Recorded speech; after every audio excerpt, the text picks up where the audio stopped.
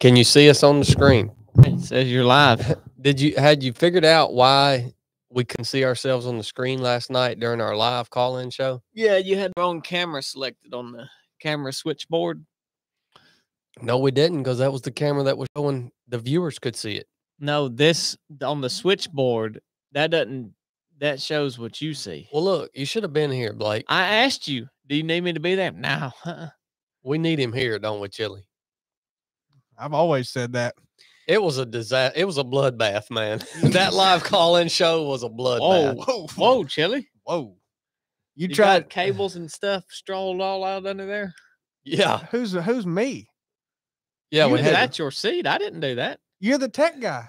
You I set everything up. Not yesterday. I did that. I did that. Yeah, He- we he had to- need you here, but we need you here to do your dang job. Well, I can't if y'all don't tell me, hey, don't come, then you know, I just do what I'm Look, told. next time we tell you don't come, Blake, just understand we're just trying to be nice. Yeah, you really need to come. We're we're just telling you not to come in because we're just trying to be nice, man. Look, nobody needs to be nice to me.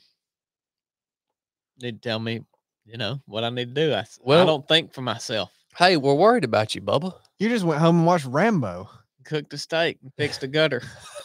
Yeah, we're worried about you, Bubba. Jeez. Trying to, you know, we're trying to give you a little time off to, you know, get yourself healthy. But Well, Just I am because- feeling better. just because we're trying to give you time off doesn't mean you should take it. you know what I mean? Yeah. Well, You ain't been working out. no. Bad for you. Exactly. Yeah. What does that tell you? Been feeling better when you stop working out. Yeah. He worked out this morning and walked me plumb to the top of that daggone mountain up there to try to hear a darn turkey that I couldn't even hear. He would- Chadd didn't want to go f- further than the orchard. That mountain couldn't have been too far because remember how long was we standing outside before Chadd opened the door? Oh, they they they they th- for thirty minutes they uh they they piddled around in that Look, field and walked back to the house. Y'all went and got in the truck. Yeah, y'all just rode around. Y'all didn't even. Y'all line. just. Look, soon as we left, I thought I heard the truck fire up. Y'all just went and rode around. that's how fast I find the gobblers. no, I that's don't even how- think y'all heard one. I knew y'all was gonna be mad when we won p- Team PT. Do you think they even heard anything? Yeah, they did. I'm sure they did. I heard that joker screeching. at But the top al- of that hill. although, although That was Corn's owl hoot, You- not turkey. you never know about cornbread because when he gets in this turkey hunting mode, I mean, every sound he hears, he thinks it's a turkey. Well, that's true. He gets so keyed up, man. It's like everything he, he he could he could hear a daggone Tweety bird up there, and he, you we know, was hunting one time, and he kept saying, "There he went again." Did you hear him? I say, "No." He said, "It's getting closer." And there was a dung beetle rolling some dung up the trail, and he could hear that dung every time it rolled over. And the vibrations of that, he was so keyed up. thought it was a turkey drumming, didn't he? That's why. That's why. G's so nervous. He's been watching you, man. Yeah, you gotta you gotta watch corn out there. Well, this morning was uh cornbread called the team PT this morning. Turkey hunting scouting trip. So it was probably the most lame version of a team PT we've ever done. Well, because y'all didn't Oh, put no P into y'all's. Y'all just walked out there to the to the driveway and then y'all turn around and walk back. Me and Chili went on a dang hike. Well, we went on the hard side of the property. There ain't no hills over there where y'all were at. Y'all drove the truck. We went You drove the went- truck. we went from the the seance spot all the way over the next loop right there, and we couldn't go no further You because drove we the found truck. the gobbler like we was in his vicinity. How many did y'all hear? I think it was all the same one. well, you, you mean all morning or that whole Yeah, all morning was the same bird? yeah, I think it was the same one. what? yeah, You think it was the same turkey? yeah, it was the same one. Yeah, No, yeah, it was. no. Yeah, When we got when All- we got to the end of that dead end trail, that was the same bird as the first one. that was the same one. No, Yeah, it was.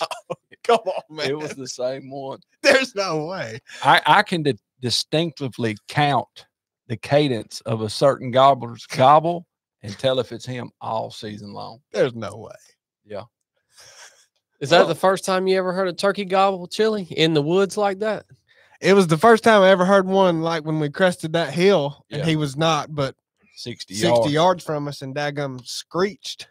Dang, yeah, man. first time ever like that. That's what we put into our PT this morning. The oh. right side of the road PT was serious. It's such a unique sound. Yeah, it's it such is. a unique sound that that bird makes. Yeah, It's really just the tone. It's just something about the tone of it. You know, Yeah. the only one I heard gobble. Blake claims he heard a few way off, but the only one I heard was when we were doing the the gun PT over on the oh, range. oh yeah, Yeah. Hey, dang, that was close. yeah, that was close. Yeah. yeah, That was close. that was at like ten thirty. We were already done with our scouting trip. Me and See, Chip, all y'all quit too early. I, I was still wanting to listen, and I'm y'all said, always "Oh, scouting. We got, you know, we gotta go do this. You can kill some birds midday. Yeah. if you get on a bird that's gobbling late in the morning like that or around the middle of the day, Yeah. you, you can do some good with them. Yeah, Yeah. I like hunting midday. Yeah, me, me and Chili's done nicknamed ours. What's his nickname? Boo Radley. Boo Radley. Oh boy. He'll move around and he he darts behind trees and just well yeah, just screech at you. You, You, can uh, never see him. you think he's a mature bird? I'm not sure about that yet. I'll let you know about seven thirty Saturday morning. He ain't no Jake though, is he? No, he definitely ain't no Jake. Oh, You can't tell uh, you can tell by the gobble. the age if they're No, how you, mature they're not. you can't tell. You can't tell. by the gobble. No. Yeah, right, dude.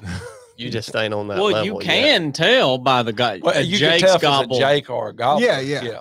Yeah, but Jake's- some some turkeys got a long gobble. or a deepen. Yeah. Yeah. I don't know. I've never paired the two with you know big turkey doing this or that Right. gobble, but it's just a gobble. but a, and now sometimes a big tom will gobble like a Jake. Yeah, that's true. That's weird, ain't it? Mm-hmm. every now and then. Yeah, They'll have beards too, right? What Um, like a what, female turkeys? some hens will have a beard. No, It's what rare. causes that? It's rare. Hermaphrodite. Well, some female women have beards. What That's causes true. that? That's true. That is true, man. When I lived in Virginia, uh, this lady lived right across the road from me when I lived in Suffolk. And I never would really see her much, just now and then, but I never talked to her or nothing, which is weird because she was my neighbor. We never even met each other. But uh one day something was going on. And anyways, I had to go over there and knock on her door. I don't I don't know, I don't remember what was happening. But I went over there and knocked on her door, and she opened the door and she was talking to me. And the whole time she was talking to me, she was covering up her her face and her mouth with her hand like this. That just lies. With I swear, stories. dude. I swear straight up. And I I couldn't figure out why she was doing that. And we're sitting here having this conversation. Well, finally we get done talking and she kind of turns to go walk back in her house, you know. And this joker had um a full on like five o'clock shadow beard. Like full on, dude. Like full facial beard. Mm. And I guess I just had caught her that morning, you know, before she had shaved her face and took care of her beard. But uh yeah, some women have beards. I mean, this Oh, woman this woman had a I mean, she had a straight up, not just like a little bit of patchy hair on her face. She had a legit beard, man. It was pretty awesome. Pretty awesome. Yeah, man. She should have just let it grow. I mean, don't be ashamed of that. I did. I seen a woman one time back when I was policing, and she had a long beard. I mean, like really? like three inches or so. Oh, That wasn't serpent foot, serpent foot, was it? No, uh-uh. This lady lived down in Cave Spring, and eh, we had a call out there at the apartments and got down there. And she was sitting on this old bucket, and she had an empty, uh, you know, ramen noodle sack coming that plastic kindly sack the noodles do, Mhm. and she had her bunch of rolled up cigarettes, and that's where she kept them was in that empty ramen noodle plastic sack, and she had her big old beard just hanging down and she would well, she wasn't covering it up she was telling me this is what the problem is and why i need you here and you know What what was going on down there, Blake? i think it was some sort of uh, domestic disturbance, domestic dispute. I mean, what a great. What time of night was this? It was it was of an evening about sunset. I mean, what a great life. Sitting on a bucket. A bearded lady sitting on a bucket in Cave Springs with a bunch of were her cigarettes like cigarette butts? No, they were rolled. You know how you roll your own. A bunch of hand rolled cigarettes in a in a ramen noodle bag. I mean, that lady, she ain't got a worry in the world, man. No. What's the chances she don't play them dang dang machines? Uh, she don't do that, man. Bull crap, she does. She goes in there all the time. They I'll pay bet- her to play them because she got a beard. I'll bet that lady don't leave a 10 by 10 square of earth, man. Tell you what, Cave Springs, people think that's just a nice little sweet town. That's got some of the roughest folks you ever met Really? living down in Cave Really? Spring. Yeah, That's Floyd County. yeah. Yeah, I mean, that woman ain't got a worry in the world, man. She's probably down there today sitting on her bucket, glad it's warm outside. I mean, what a life.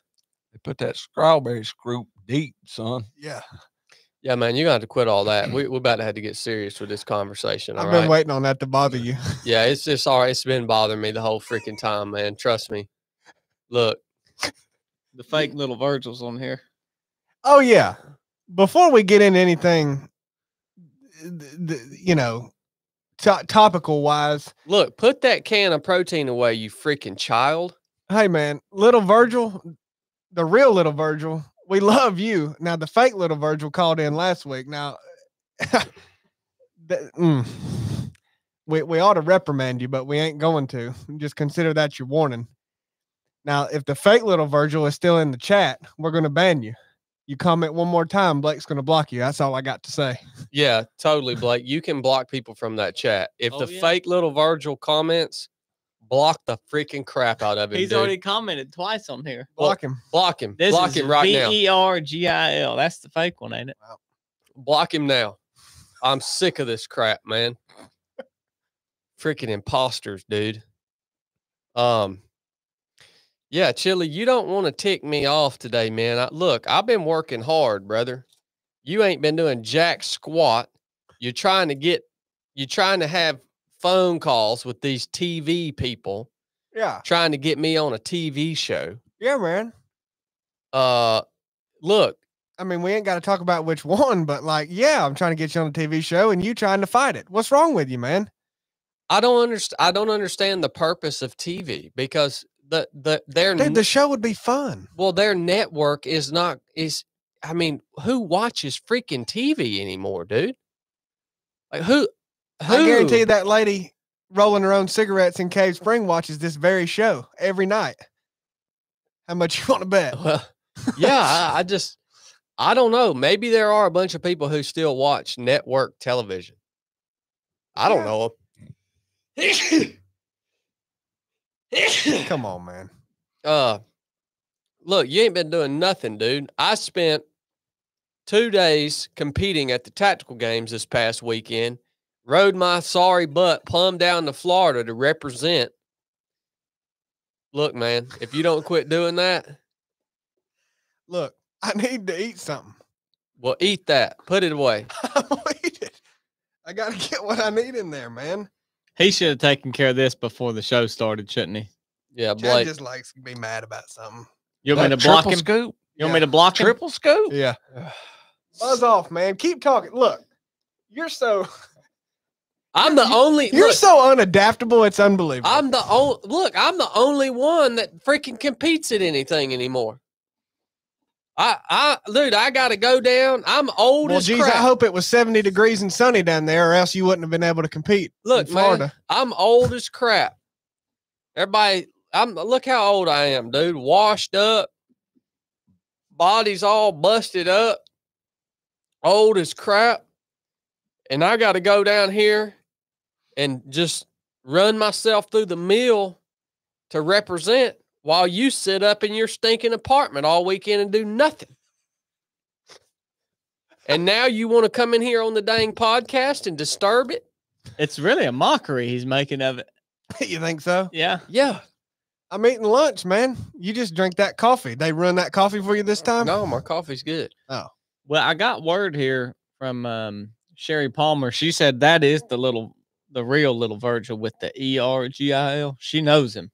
Yeah, the real little Virgil's in the chat, man, but there's a fake one. Well, you this one here is apparently not the fake. You one. don't know the real one? Well, there's two different spellings. I don't know which one's real and which one ain't, and you didn't either because you just said to block that one. I said block whoever was coming if, the, if it was the fake one. You ought to be able to tell who the little Virgil is by Oh, his yeah. comments. Yeah. Yeah, he's got a very distinctive way he comments. Yeah. So I can't tell. Yeah, he said credentials, double dipping, put some grease on it. That's little that's got to be him then. And then he said, please block me. Yeah, don't block him. That's got to be him, man. Uh, the fake little Virgil has a black profile picture. It's real dark. What's this one got? Yeah, it's got like a little white thing in the middle. That's fake little Virgil. Sherry Palmer says it's a real one. So yeah, I went down to the tactical games last weekend, did that deal. I know uh I'm gonna get into that, what that was all about. If you guys got any questions about them, about the this competition specifically, drop them in the chat, and uh and I'll answer those for you here in just a little bit. Take note of that if you if you see it come up, tech guy, do your freaking job, man. What? If you if you see any good questions come up, take note of it. All right, do your freaking job. You Well- know, I came back. I've now I've- now I've had a sore throat for two days. Um, What'd you get? dude, we went and filmed episode two of Paranormal Land Cruiser Experience yesterday. You guys uh, are gonna when you see that. Look, what happened on episode one? I haven't talked about it publicly yet, but when you guys hear for the first time what actually went down on episode one, I think it's going to rock your world. All right. So, episode two is being edited right now, and it's probably going to change your entire perspective on what's actually going on. So, Dang. get ready for that, man. That's a bold statement. It's it's big. Yeah, it's big. Episode two is big. We had to travel quite a distance to go talk to an expert about uh about what we experienced. Well, And- you talked about it. Yeah, because Corn won't freaking talk about it. Yeah. So we did that yesterday. And uh, I'm glad to be home back on the podcast. What's up, YouTube? What's up, everybody listening? We appreciate you being here. And uh, speaking of the tactical games, here's a little here's a little thing that uh, if any of you guys are interested in doing one of these competitions, or maybe you're a runner, or maybe you're a surfer. I doubt it. I doubt we have many surfers that listen to this podcast. I ain't never met a surfer in my life. I, I've met a few. Chris Redcliffe used to do some surfing. Yeah, Yeah, he did. Yep. maybe. Uh, maybe, maybe you're just a really fat person and you have rolls of fat, flaps. You have fat flaps, and when you move, you know, you get up to go to the freaking toilet or the refrigerator, and your fat flaps keep rubbing your skin raw. I get to flapping. Yeah. Then you probably are going to want to get you some of this stuff right here, all right? This is salty britches. If you are if you're moving around generating sweat, especially if it's dusty or sandy or salty, if you're daggone tired of getting blisters on your feet, if you're tired of your you know, chafing in, in between your legs because your thighs are too fat, um, you know, if you're tired of chafing up under your arms because your wetsuit's rubbing you raw, you know, maybe you're out at the tactical games and, and your your gear that you're wearing is kind of rubbing you in certain areas. And uh, chafing will really ruin your experience. You want to avoid chafing because once it starts, it makes your life miserable and there ain't no way to stop it once it starts. So, our friend Amy, the founder of Salty Britches, worked for years to develop this formula. And the way that I use this stuff is anytime I know I'm going to be out getting after it, I go ahead and put me a thin layer of salty britches on all the areas that I think might get a little hot spot, right? Get a little chafage going. I go ahead and put a thin layer of this right up in between my legs, my old fat thighs, uh, all down through my groin. Keep all that nice and lubed up. Put my dad, put a thin layer on my feet, and then I'm good to go, man. I ain't got to worry about it again. That's how I use it. Don't wait until you're you're already like, oh wow, that's starting to hurt, and then try to put salty britches on. Put it on before you start. It's gonna make your experience wonderful. All right. Check them out at getsaltybritches.com. These are awesome people. And uh, let me go ahead and tell you, Amy's a really, really cool woman. And she's done an amazing job at creating this product. It's made in the USA. A lot of you guys can appreciate that. She doesn't have to make this in the USA. It's a pain in the butt to have anything made in the USA. It costs more money. Well, she made it happen. So get saltybritches.com, skin barrier ointment. Trust me, you're not going to regret that decision. There's a lot of stuff out there. Salty Britches works the best. I've used it all, man.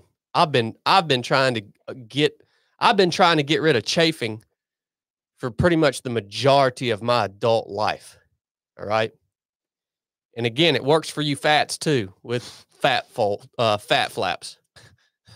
So don't forget about that. Dad, I know we got I know we got some big fats watching this. Tired of their fat flaps chafing. Look. Look, don't let your fat flap chafe, man, because if it chafes, that's liable to get infected. It's an open wound, Yeah. you know. We Well, had it a, ain't real look, open. man. We had a guy one. We had a we had a guy one time on the ROP course that forgot to put his salty britches on. His his groin and all all of his groin and stuff was chafed real bad, like open, because he didn't use any preventative measures. Well, he gets you know three quarters of the way through the ROP course. His freaking butt crack and, and groins chafed so bad he can barely walk. Then he starts crapping his pants. And he's getting live crap all up in them open wounds. Alive crap. Yeah. Live cultured crap. Trying to get septic. Fresh. Yeah. That'll Mm. kill you, man. Oh yeah, without a Salty doubt. britches will save your freaking life, dude. Yeah, You rub crap in your open wounds. no, crap's supposed to stay in your butthole or in your toilet, one or the other. Not in an open wound. All right. So take this crap seriously, dude. I mean, on. literally take your crap seriously. I got bit by a tick the other day. Had to dig it out. It made a big old sore, and my shirt kept aggravating it. I just put my old lather salty britches on there every mor- morning, so my shirt wasn't rubbing against it. There you go, man. Do it all. Did that ever heal? It's almost completely healed up. Didn't Um, you say you had a tick on you for three weeks one time? When we went out there to Corpsewood, yeah. that tick got on me Corpsewood just jacked him up bad, did. man. and it buried in my side. And I woke up one night to use the restroom, and I thought it was a skin tag. Yeah. Corn, you already told this story on the podcast, man. Did I really? Yeah, but I You already told this story on the one of my favorite podcast. Look, everything's just running together for you now. it's turkey season, man. well, that's true. Let's shut this jewel down. That is true. Oh, oh, jeez. Um, all right. Yeah. So the tactical game. So why did I go out and do this competition? Well, I have to the, the the person who introduced it to me is a good friend of mine here in Rome. Uh maybe we'll have him on the podcast one day. But he is an unbelievable athlete. He works out with me down here at the CrossFit gym. Not only is he an unbelievable athlete, but he is a very, very good shooter. He's real meticulous, um, and he really just uh, this is his passion. Is I, I would say shooting and fitness, and he started talking to me about it maybe I don't know, I guess close to a year ago. And he won the national championship last year at the tactical games. And he was talking about talking about it to me, telling me how challenging it is and uh, how great the people are and how fun the event is. And I'm like, okay, I'm interested because this dude that I'm talking about is legit, man. I mean, I work out with him on Saturdays and he just runs off and leaves me. And so when you got somebody like that telling you, "Hey man, this is a good event. It's it's hard. It's challenging." Uh it it piqued my interest. Um because I respect this dude, right? And so he's the one that kind of told me about it and what appealed to me is not only not only his recommendation, but also the fact that it combines two things that I like to do and that I'm fairly decent at. I have a baseline kind of skill, both in shooting and in fitness. But I realize that if people like my friend are out there competing, I'm not going to be good enough to beat him because I can't beat him on an average Saturday. So that's another thing that really drew me to this is I said, okay, here's a new type of competition. It combines two things that I enjoy doing, but I know I'm not going to be good enough to win. Now, somebody might say, "Well, then why would you go do it?" Well, that's that's what appealed to me. The fact that I knew there was a guy like my buddy who was going to be out there who I, there's no way I'm going to beat this dude. Like I'm just it's going to take me a while to get to his level. And like that really gets me excited. It gets me excited to find something that I know I can, I, I'm going to have to work towards. You know,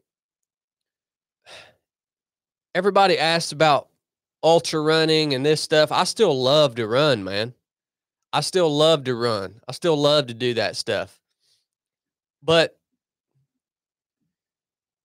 I think that it's good for me personally to get outside of this little whatever whatever the box is that I've been in to get outside of that box every few years and challenge myself in new unique ways.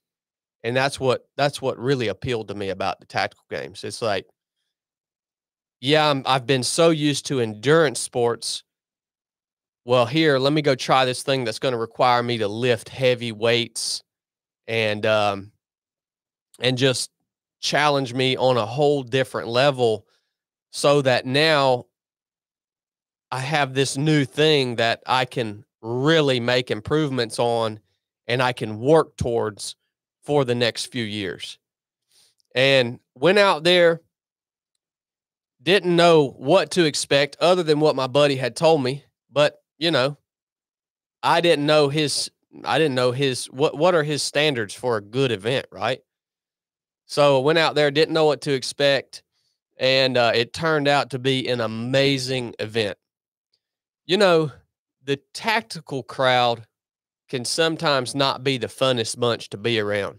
They can sometimes be a little uptight, sometimes be a little bit just geekish and maybe really ego driven like me. Um, but uh, that was not the case for the people out there at this event in Holt, Florida. I'm talking about, eh, I, I bet, and I bet I talked to 200 people out there because we had a lot of, there were a lot of people competing there that watched the channel, that listened to the podcast. Um, and dude, it was so refreshing for me to be able to like put a face to someone who watches or follows what we do and to say, man, this is a really cool dude. Like he's out here getting after it, man. This is a cool cat. We have a good conversation. You know, he's not a daggone douche. He's not a daggone dweeb. It's a cool cat. You know, I get a lot, I, I get in these stages sometimes. I told Chili yesterday, you know, you create things and put them out online and uh you see the way people respond and you're just like why the crap am i even doing this? Like what what like you you, you kind of you, you look at the way some people respond and you're like what is the quality of individual that i'm reaching here? Like it's very low. Like I, i'm literally speaking to a very you know low quality of human here. So why am i even doing this? Like like some of the like i just can't freaking do anything to help this group of people. But but what i realized being out of the tactical games is no that's actually a very small percentage like the trolls the freaking smooth brains like that's a very small percentage of the people that we get to reach doing what we do.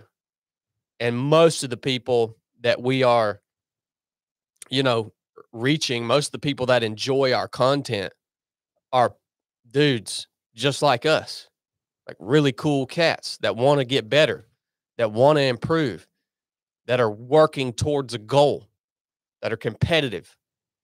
And so that was so refreshing to me, man. That was my favorite part of the whole event is getting getting to meet all of those people and like so many of them talking about oh you said this it helped me. You said that it helped me. I love the show. I love the content. Uh that was my favorite part of the whole event in terms of difficulty it was it was hard but it was deceptively hard because you you run multiple stages per day saturday we ran five stages sunday we ran three stages well, these stages are relatively short, eight to 10 minutes. So, really, you're only working about an hour per day, right? So, you run a stage, you have a long break, and then you're up for the another stage, you know? So, you have a long break. So, you don't feel like you don't feel like you've done that much. But when you do, when you are up there competing, you're going as hard as you can for that eight to 10 minutes. And you're lit, you're usually lifting something heavy or climbing ropes or doing something crazy, right? So you don't ever feel like, holy crap, like I'm just, I'm grind. You don't get into that mode where you feel like you're grinding. But I think just the cumulative, intense efforts over the course of two days, it snuck up on me, man. On Monday, when I got back home, I woke up Monday morning. Dude, I had bruises all over my body. It was crazy. like just from the, the gear and, and all climbing over all the obstacles and all that crap. I didn't even realize any of that had happened. I, and I think another thing when you're running the stage, your adrenaline is is pretty high, you know, because you're again it's max effort. So Monday morning, I was like, "Whoa, son, I am I, I was sore, had bruises all over my body, was just tired."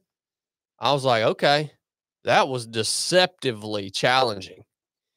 Um, so I'm really, really satisfied with it in terms of how difficult it was. Uh, the stages were legit, man. There's different classes that you can run. Anybody can go do this event.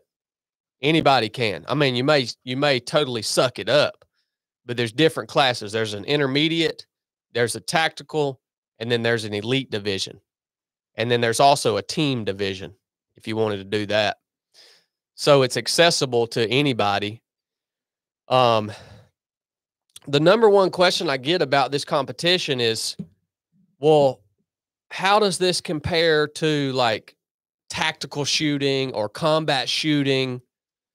How does it compare to your, you know, the stuff you would do in in the in military, like military training, stuff like that?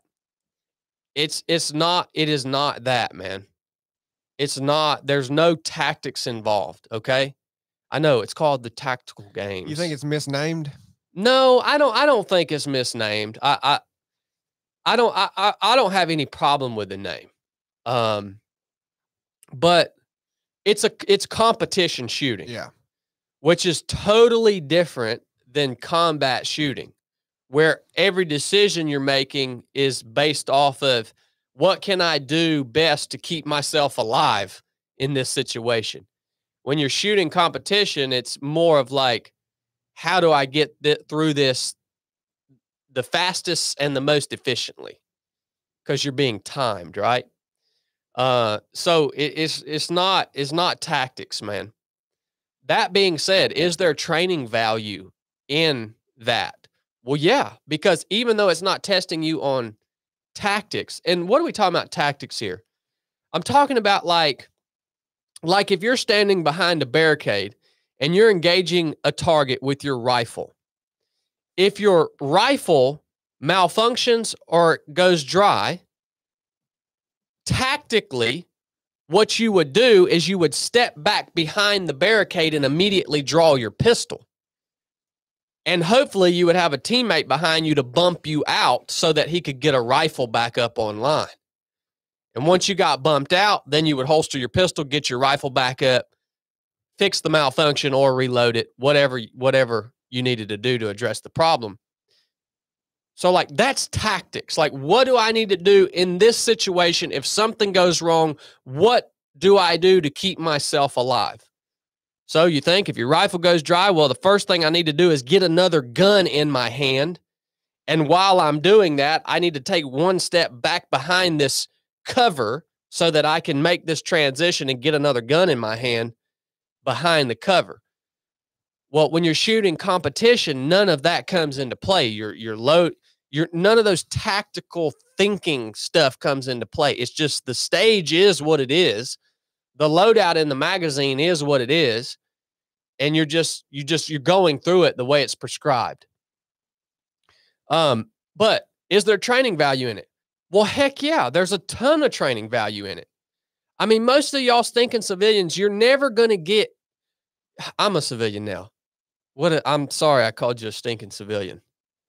Um, hey, most of you guys aren't. Career civilians. Yeah, you're you're net, dude. You're never like for you to get proficient at tactics, like really proficient. It's like a that's a lifetime of dedicated training and study. Like, don't think you're going to get good at. You might learn some, you know, basic tactics, right? But even then, you have to drill them thousands of times to for it to become muscle memory. So the training value from an event like the tactical games, one, you're really putting your weapon systems through the paces. So your rifle, for instance, we took shots there for anywhere from 25 yards to 600 yards. I mean, how many of you guys get get out and, and shoot your rifle under under pressure and time at 600 yards, man? So you're really you really get to learn the capability of your weapon systems and are your optics working and do you have the gun set up the way you know the the most efficient way it can be set up for for the competition. Um, another big thing, training value. You get practice shooting uh, and and precision shooting. By the way, all of the shooting at the tactical games, you're shooting at daggone targets the size of the top of that cup right there. So you, it's it's all precision shooting, and so you get to practice shooting really accurate shots while you're literally sucking wind. You're out of breath. You're breathing hard. Your heart rate's jacked. Your forearms are tired. And it forces you to either shoot terribly or to calm yourself down and take good, accurate shots. So there's a lot of training value in that, man. There's a lot of training value in that. Um, another thing, it tests it tests your gear, right? uh, your your not just your weapon systems, but your body arm, your plate carrier, your gun belt. Uh, you know, do you got crap? Do you, do you look like me on the range the last time me and Blake did a competition together and you got freaking mags falling out and the wrong holster and all of that stuff, right? You it, this tactical games, man, your mess better be wired tight, son, or you're gonna look like a freaking yard sale out there. So there's a lot of training value from it. Um, it's not so so it is com- competition shooting, but don't think that because it is competition shooting, don't think that there aren't aspects of that that are going to translate and make you a better and more effective gunfighter if you ever did find yourself uh, in a gunfight in real life, right? Uh, so it's good stuff, man. I freaking loved it. I loved it. I'm 100% going back to uh to do this again. And yeah, I got a lot of work to do. I learned so much about my gear, learned so much about what I need to work on physically, um, where I need to get stronger, uh, where I need to slow down and shoot better. Like I learned so much about uh, what I need to improve in order to go back to this thing and actually be competitive. So it was a fun competition, man. I highly recommend it if you guys enjoy shooting. And even if you're not that fit right now, just go uh, sign up for the intermediate thing and just go out and do what you can do, man. Do what you can do. Like I I fully I full I I did not expect to do well this weekend because the only way that you can get better at something is you have to just go out and do it and suck for a little bit. like I'm sorry, man, but I, I mean there are some people out there who might gather all the intel and who might put together some precise training plan and show up to something for the first time and just crush it. I'm not saying that doesn't happen, but that's not the way I work. I like to learn through experience, which means you have to be okay with sucking the first time or two that you do something. Like, I'll never forget the first time I ran an ultra marathon, a 50 miler. I don't do I don't do all that research, man. I'm just like, this sounds awesome. I think it's going to be hard. I went and signed up for this 50 mile race, never even heard of anything like that before. Didn't even know it was humanly possible to run 50 miles. Went and did this race. If I mean, did terrible. I did terrible. I mean, I dude, I could barely daggone move the next day. It was awful. So I sucked. But then the next time I didn't suck quite as bad. The next I was learning. Every time I did it, I was learning. So you got to be okay with that, man. Not only do you have to be okay with that, but you should actually enjoy that process. I, I, and I think this holds so many people back. People are afraid to suck. They really are. Like it, it holds them back from ever just going to do anything, man.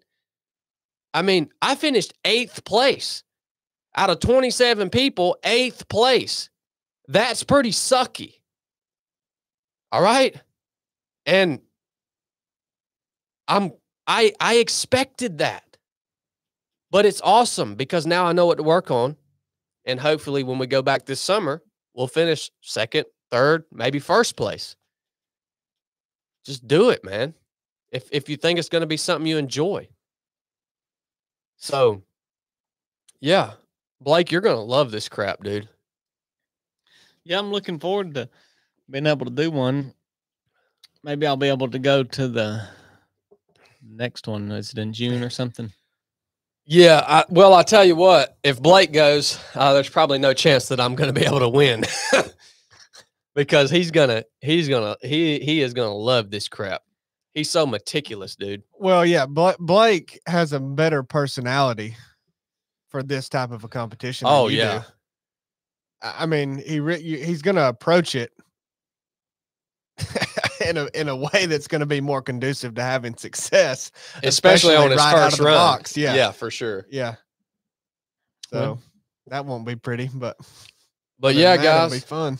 don't don't. I mean, what what I what I'm trying to tell you, if if you're not if you're not even interested in it, maybe you don't do any shooting or you know you're not interested in that. Like what I'm trying to tell you is, don't just pigeonhole yourself into doing the same dang thing for your whole life. Think of things that you can do that are going to force you to I, I I used the word this morning like reinvent yourself like improve. Think about what you can change what you need to change. Um all of that's good stuff but you know so many of us including uh, I, I don't i don't know so many of us you know we want to just stick with the same thing we stick with the same thing for way too long it's like you can try new stuff. It's actually going to be good for you. Just do it. Right? Yeah, that's an interesting line because depending on who you're talking to and what their story is, you'll find many people who get to their maybe their 40s or 50s or 60 whenever the, the point it hits them in their life and they go man i've never stuck with something for long enough to actually Yeah. see myself get you know really good at it and have success with it and man I, tr- I did you know i just bounced around so many times did this for two years and then that for two years and then that i never really you know so i think that's a Yeah, it could it could potentially be bad advice for people like that, It- right? It, just depends, man. It, Yeah. It's, it's, I think it's situational. I guarantee you, you've got people hearing that, that they're sitting there thinking, yeah, I wish I had, you know, stuck with something for longer just to actually see what I could have made out of it. So it's, I think it's just dependent it on the situation and the individual, but I definitely think that uh, what you're saying applies to many as well because it, it, it really I think comes down to your goals or or what is being achieved maybe because when you just stick with the same thing that you don't even care about and you're not improving and it's not challenging in you in any way and not just because the progress halts but yeah progress just stops and you're not You it's literally the same thing because Yeah. you can stick with the same you could stick with you know weightlifting or running or or whatever the thing is but it be different over time and continue to challenge you in different ways but if that stops then yeah you probably should move on Yeah, yeah, exactly. Exactly, man. Yeah, like like for me for running for instance, like well, I could decide I wanted to like do a real fast marathon yeah or something. that would be and that was running but it would be different it- but it would be totally different. Exactly. That's that's right. So yeah, that's that that can work too. Um but yeah, for me, I guess the I guess for me I'm talking about I I do this like for the sake of my own enjoyment. Like it's it it excites me. It reinvigorates me. Um it it challenges me uh, to to you know try new things and and i'm not scared to do it i'm not scared to suck you know it is what it is. I fully ex- if i don't if i do something new and i don't go suck the first time well it probably wasn't hard enough. Like i probably picked something that was that was too easy. So um we got any questions about any of this in the chat blake? Well, not ones they couldn't find by a simple Google search, but they're asking like where where is it? Um Yeah, we'll let you guys uh we'll let you guys Google that. and on nothing nothing Oh, well that, that- well that's interesting. yeah. Thank you, YouTube. So, so particularly about the divisions, you did the tactical one, right? Yeah. Intermediate, tactical, and expert. Other than the obvious of strength or you know endurance and level of shooting, do you think that was the right division for you to be in? I would assume a lot of the people expected you to be in the expert division. Yeah, yeah. Quite a few people asked me, you know, what what you know, expecting that. Yeah. But no, the tactical division was the was the right division for me to be in. Because like I said, even like I, you have when you when you're trained to shoot the way that I was trained to shoot in the military, like you're having to rewire a lot of that to be able to shoot the competition. So I'm really starting out in this more co- competitive style of shooting. I'm starting out at a fairly low baseline because you know again you're having to rewire a bunch of a bunch of stuff that you you would norm how you would normally react or what you would normally do and you're having to do it the way they want you to do it for the sake of the competition Well, even just something as simple as the red dot, or as- as Yeah. basic as the red dot. I mean, you don't. It's like, well, yeah, you got years and years of experience shooting. I mean, how how many years? Your whole life. Well, how many times have you shot with a red dot before a few months ago? Very little. no never Never. never Well, there you go. I mean, that that right there ought to be enough to you, you realize how maybe simple that is, but significant. You know. Yeah, yeah, no, that was the right division. And next time I go back, I'll, I I won't I won't go up to that that elite division until I win a competition in the tactical division. I got And once I win one there, then I'll think about going up to the elite division. Um, Mr. Joker asked, "Did it affect your confidence coming in seventh, being you're a decorated SEAL?"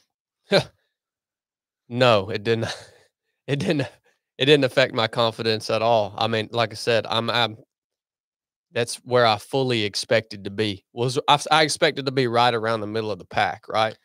And it goes back to the we- we already had that conversation. It's this is not combat oriented shooting. This is competition. Yeah, I mean, I, I think you could take those those competition shooters like you see on YouTube. Holy crap, dude! Have you seen them? Oh yeah.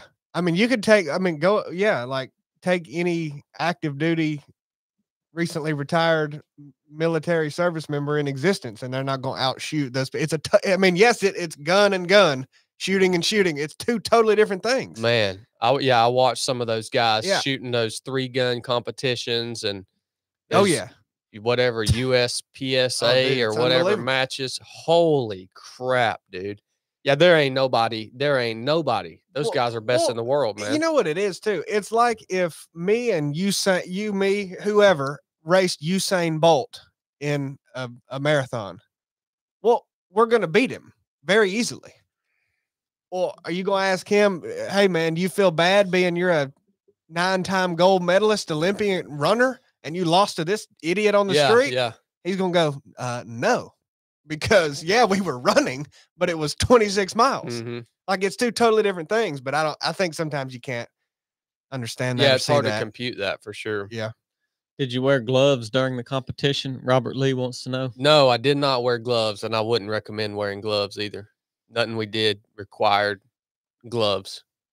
I never even thought that it. I, like there was never a moment where I was like, "Man, I wish I had a pair of gloves." No.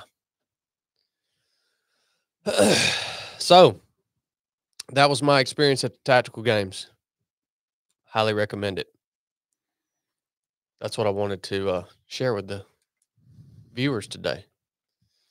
well i got a question What's up? about the event so you said it was well ran at the beginning and you liked you liked how it was what i don't even all i can compare it to is is mm. some sort of a, a race just because that's all i know but what what do you think you would improve about it? I mean what what is what what what makes that what makes it good? What makes a shooting work i mean because it's a combining working out and shooting like it what makes that good a good event a good setup just just the workouts they pick for you like the the program or No, it's to to me it's the same as a to me it's the same thing that makes an ultra marathon good. okay Yeah, the volunteers, everything yeah um, the the people that are working, just the attitudes of of the people who are associated with the event, um, the uh the time them sticking to their timelines, Yeah. uh,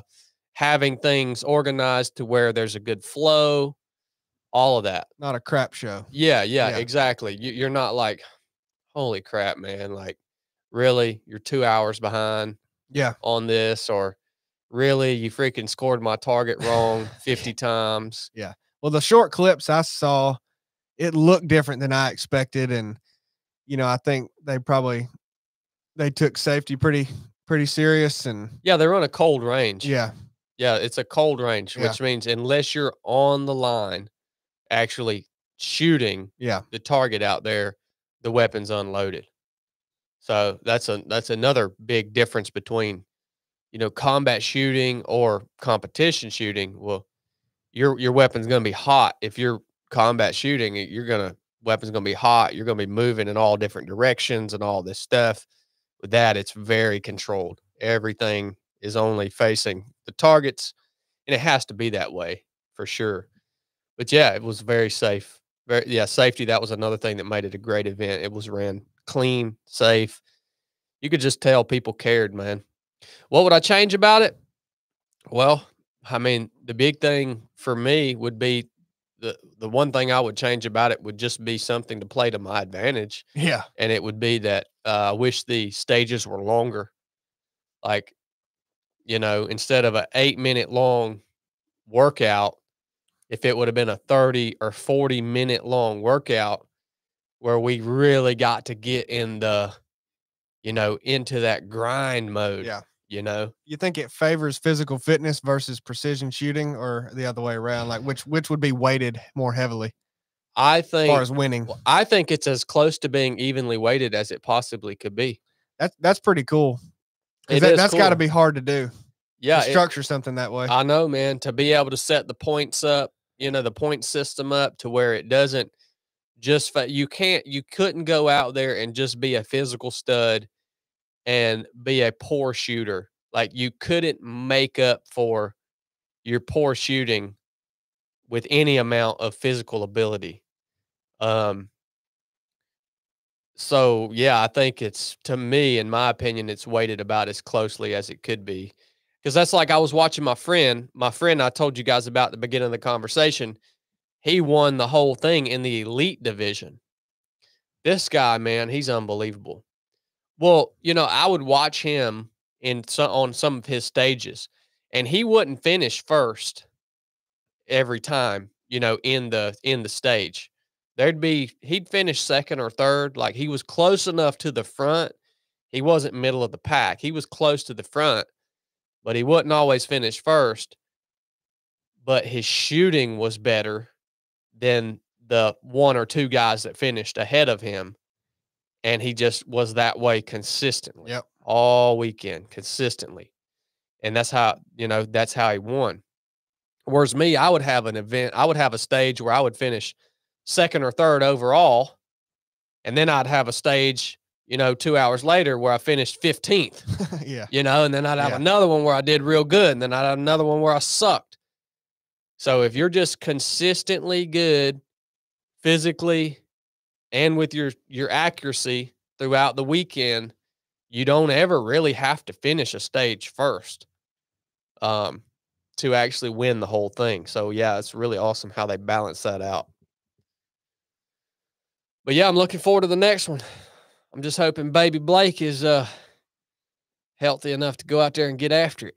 Yeah, I'll say, um, I mean, you know, many times in my life I've um, signed up and wanted to do things, and then I just don't end up being able to do them for whatever reason. I mean, even that I was supposed to run that um, 10K, was it Lookout Mountain 50 miler you did, Chadd? And uh, we had Blakely up there, and she ended up getting sick as our first kid, and she was real young, and she, I think it was that roseola virus or whatever. But I was like, dang, here we are, you know, away from home, and we might have to take her to the doctor, so I didn't go. And I was just thinking about that stuff, you know, this weekend because it really sucks that I didn't get to go. And um, you know, I mean, it was something I wanted to do and spent weeks training for, and um, but you know, it just brings um to me always brings light to the that the stuff you know that we have and that we hold on to here it really it can all be taken away just you know at overnight really.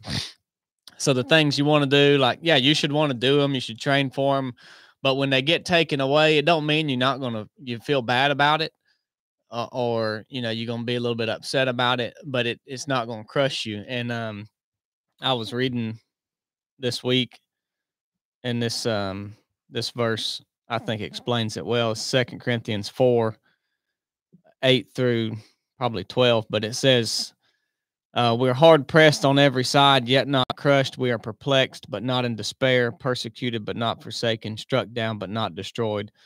Always caring about the body that." Uh, always caring about in the body the dying of the Lord Jesus, that the life of Jesus may be manifested in our body. And it just made me think like we experience um, being hard pressed. We experienced we experienced being uh dis, you know in despair, persecuted, uh struck down, all of those things, but we're not to the extreme of them. We're not crushed, we're not destroyed.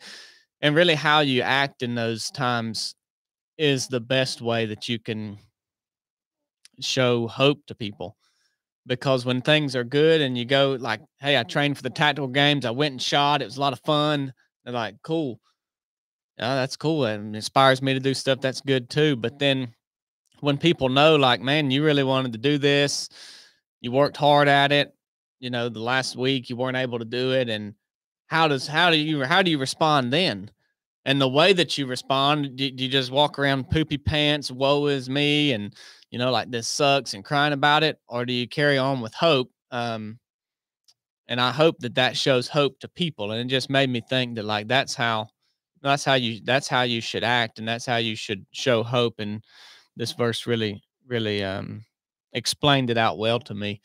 So that's something I, that's what I was thinking about this week because I mean I did want to go, but as I you know through prayer and reading and things like that, that's where I landed with it. So that's what I'd share about the tactical games. Yeah, that's good stuff, man. That's good stuff. Yeah, Hoist was a Hoist is a big presence out there. They actually sponsor one of the elite females. Her name's Smokey the Bear. Dang. Hey man, she's stout, dude. But she had a hoist, she had a hoist patch on her uh on her kit. Really? Can't believe Hoist didn't send me a patch to put on my kit, man. Oh, I definitely think they have in the past. well, maybe they have, but Yeah. I, I, I I can't find it. yeah, you kind of lose things. They need to send things right at the exact moment that you're ready to put them on something. If not, it's just a waste. Mhm. He'll lose it. That's how it is. I'll tell you what, Hoist is the perfect drink for getting after it down in the Florida heat, especially right in the beginning of the spring. You're not used to the heat, just sweating your freaking butt off. Hoist is the perfect hydration supplement to take with you at the tactical games, especially this black bottle, man. That's I kinda mean, tactical, that isn't it? looks tactical. Is that your favorite? That's black, the black cherry? cherry. No, No, that ain't no, that's your not. favorite. That's not my favorite. I like that uh that orange one up there. Yeah, what is that? Blaze orange or peach no, mango? the peach mango. peach mango. Yeah, Yeah.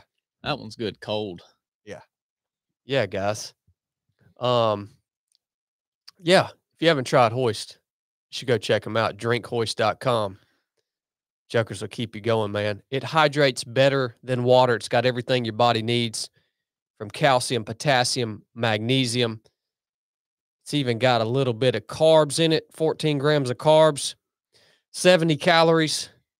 Taste amazing. Summer's coming, man. Keep yourself hydrated.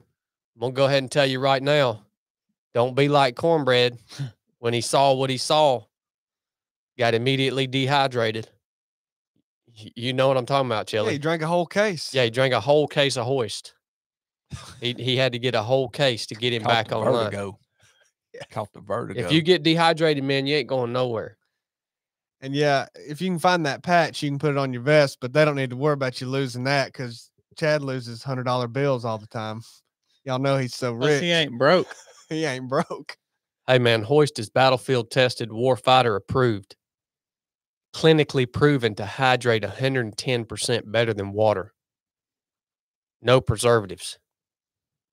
Sweetened with real cane sugar. That's well, you stuff, can't beat man. that cane sugar. boy. No. Mm-mm. I had a tick bite and I rubbed some hoist on it, hydrated it right up. You remember when you was eating that bowl of chili and you took that sip of that hoist? What'd you say? I don't remember Well, that that. stuff is good. When was that? Man, that's good. Bad bump. You don't remember that? Uh-uh. Well, boys, anything else to discuss today? Is that all you wanted to cover? Yeah, man. I mean, uh, you know, I'm not really, I'm not really too fired up about politics today. Um, I'm Well, just kind, I'm just kind of like screw it. It's a good day because the coffee shop didn't mess up your coffee. The warranty company's paying for the transmission on the Oh yeah, how about that? All you guys that con- that commented on the live stream the other day that we were stupid for buying the freaking extra warranty. Well, they're paying for the dang transmission. Bilp. So put that in your freaking pipe and smoke it, man. Bilp. Uh, and then last week we got cut off prematurely. What was that from? Oh, Chadd put that sign, ripped the cord out of the plug plug in Yeah, over um, there. um, No, YouTube shut us down for talking about something. Yeah. What, What were was we we talking- talking about? We started talking about something. I was then- about to talk. I was about to talk about hoist. I know, but we had just been talking about something, and then Ooh. YouTube shut us down, and Yep. everybody was saying that's what you get for talking about that. It's a bloodbath, man. Oh yeah, that's what. Yeah, maybe that was it. But Yeah, and we were opening the sign, but we did that, didn't we? Yeah. What else was No, it? it's a bloodbath out there, dude. Yeah. That's just the way YouTube is. That call-in show yesterday was a bloodbath. Yeah. So all you that gave super chats last uh last week, we appreciate y'all. We didn't get to read them. Uh, Chadd's gonna show you here. We've got a, a Oh, new. We ain't even close to needing to wrap this up. We Hey, got about 20 more minutes worth of things to talk about. Blake, talk to Blake designed this shirt for us. Will you talk to the listeners about the um the meaning behind this shirt, Blake? Yeah. So that's our new shirt there. Uh, David. Yep, David there it is. Charbonnet helped me design that. And so the meaning behind the shirt is in Ezekiel 37. You see at the bottom there, it's got the got the book and chapter. And in that chapter, God takes Ezekiel out uh, through a vision. Hold on, I have it right here. I'll read it, Blake. Okay. I have it right here. Okay. The hand of the Lord was upon me and carried me out in the spirit of the Lord and set me down in the midst of a valley which was full of bones. And he caused me to pass by them around about. And behold, there were very many in the open valley, and lo, they were very dry. And he said unto me, Son of man, can these bones live? And I answered, O Lord God, thou knowest. Yeah. So he goes out, he sees the big valley of dry bones, and you see God ask him, Can these bones live? And obviously, Ezekiel probably thought it looked pretty, uh, you know, maybe like that wasn't quite possible, but he still said, Well, only you know, Lord. And so if you read on through there, he, God, he tells Ezekiel to prophesy to the bones, and God brings them together bone to bone. And uh, he puts lig- ligaments or sinew and flesh back on the bones, and then they still don't have life. And and uh, God tells them to prophesy in His name. Uh, they would have breath in their lungs, and it fills them, and they come back to life. And so it kind of represents. Well, it does represent um, this shirt here. I didn't want flesh. I didn't like want the complete picture. I wanted something that showed kind of the in between stage, because really that's where we're at most of our life, if not all of our life, because we don't ever arrive. And so this is kind of showing dry bones that have came together to show a semblance of a man and that uh, muscles have began to be put on the body and, and tendons and ligaments and sinews and they're able to move and his hands are open he's receiving what the lord has for him and you got the question there can these bones live and obviously they can and so um yeah that's the meaning behind the shirt and you know there's a deeper meaning we just recorded a youtube video that we'll put out about Ezekiel 37, and some of you may have heard it here on the podcast, but that's the meaning behind the design and and what that scripture says. Yeah, there's been a many a times in in my life that I've looked at my own situation and said, "Good night." yeah, I feel like a sack of dry bones. I feel freaking just beat down and useless and ineffective and don't know what my purpose is, don't know what my direction is.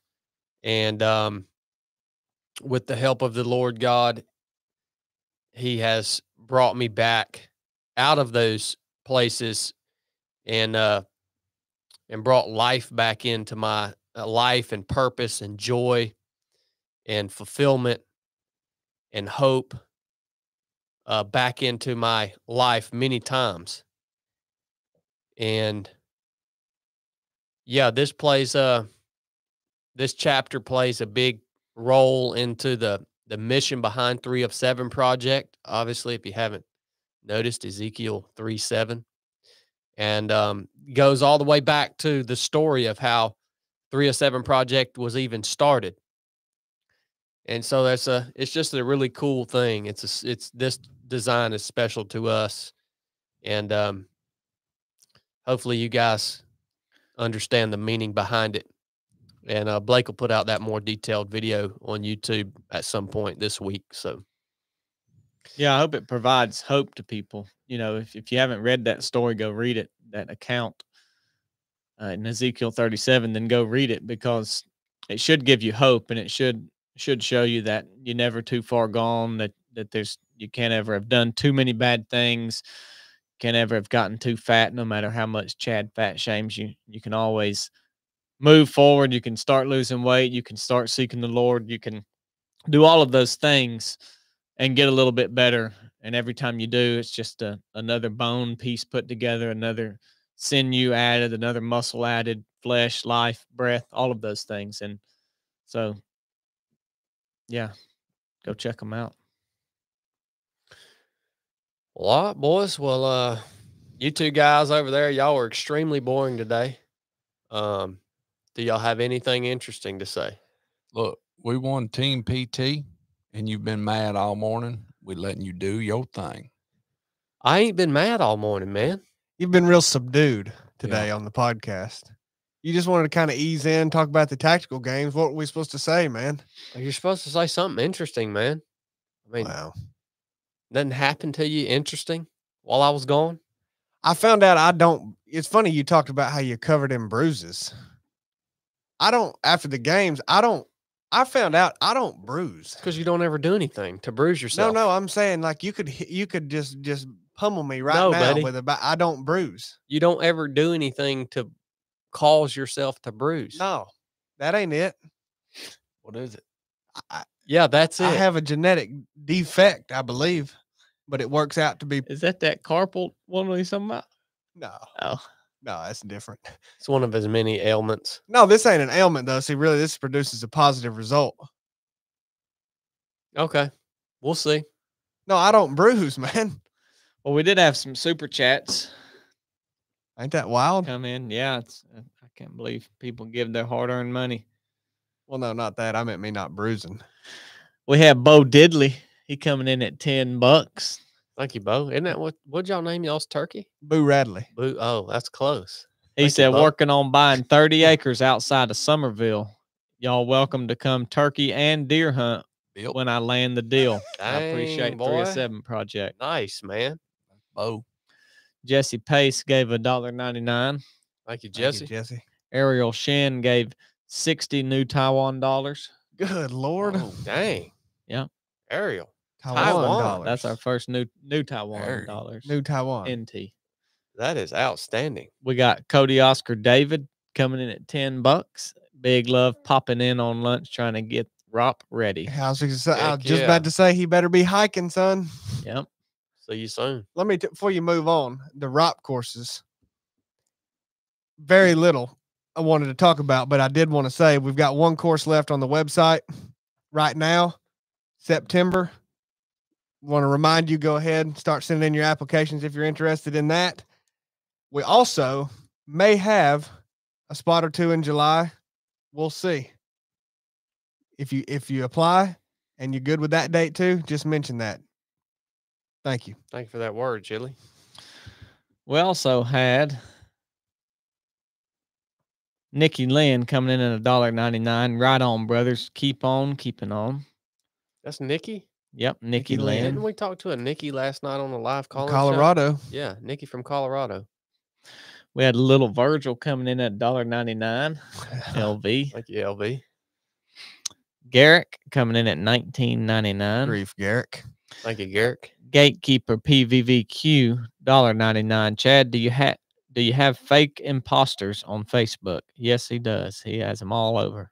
Yes, there are many fake me's out there. And if you can't tell the difference, well, there's your sign. Yeah. You just know that if I ever reach out to you via the internet, it's not me.